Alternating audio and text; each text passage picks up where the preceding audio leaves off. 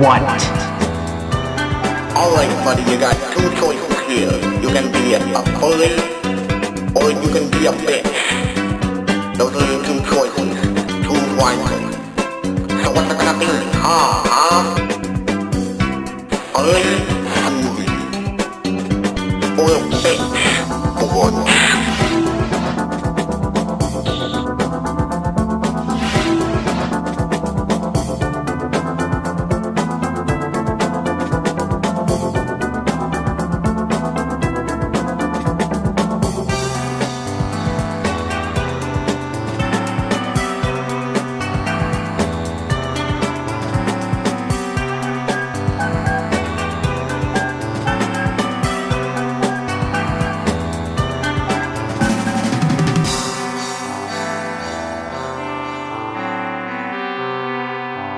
And that's the tale of how Smek is no longer a cretin.